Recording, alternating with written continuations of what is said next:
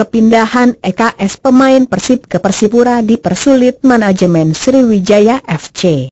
Langkah Hilton Morira untuk bergabung dengan Persipura menemui jalan terjal. Hal itu lantaran ia dipersulit oleh klub lamanya, Sriwijaya FC. Kendati sudah didepak sejak November 2017, Hilton sebetulnya masih terikat kontrak sampai awal April 2018. Namun, hingga hari ini, Hilton belum memperoleh surat keluar dari Sriwijaya FC sehingga hal tersebut membuat klub yang berminat pada Hilton belum bisa mengikatnya secara resmi. Dia, Hilton, masih terikat kontrak sampai awal bulan April 2018. Kalau sudah deal dengan tim lain harus mendapat surat keluar dulu, ujar Sekretaris Sriwijaya, Acemat Haris, kepada bolasport.com. Adapun alasan dari pihak manajemen Sriwijaya FC belum mau mengeluarkan surat keluar tersebut karena masih menunggu Hilton agar membuat surat pengunduran diri.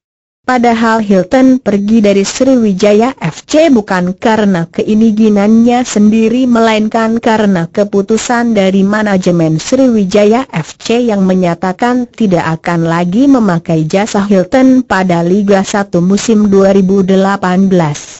Selain surat pengunduran diri, Hilton sebenarnya bisa saja mendapatkan surat keluar melalui sistem pemutusan kontrak. Akan tetapi, manajemen Sriwijaya FC enggan melakukan hal itu. Kami sebetulnya tidak menahan Hilton. Kami mendukung Hilton untuk menemukan klub baru. Jika Hilton butuh surat keluar silahkan Hilton buat surat pengunduran diri, ujar manajer Sriwijaya FC, Urcok Hidayat.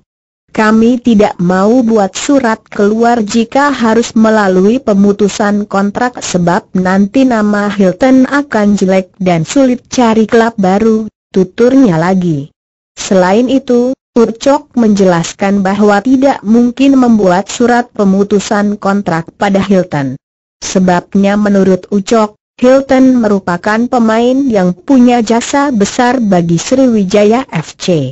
Mana mungkin kami bikin surat pemutusan kontrak buat Hilton karena jasa dia besar bagi klub ini karena pernah bawa Sriwijaya FC juara, ujar Ucok. Hilton sendiri sebetulnya tinggal selangkah lagi bergabung dengan Persipura. Penyerang asal Brasil sudah merapat sejak 21 Februari lalu. Namun, Transfer itu belum bisa diresmikan karena belum mengantongi surat keluar dari Sriwijaya FC. Pelatih Persipura, Peter Butler pun mengaku puas dan tertarik untuk memakai jasa mantan pemain Persib Bandung.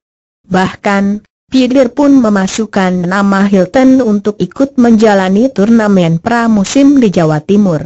Saya percaya pada kualitas Hilton. Hilton dan dua pemain asing lainnya, Marcel Sacramento dan Abdoulaye Maidgat, punya kerja keras dan kualitas yang bagus. Saat Liga 1 dimulai, mereka harus membuktikan itu, ujar Peter.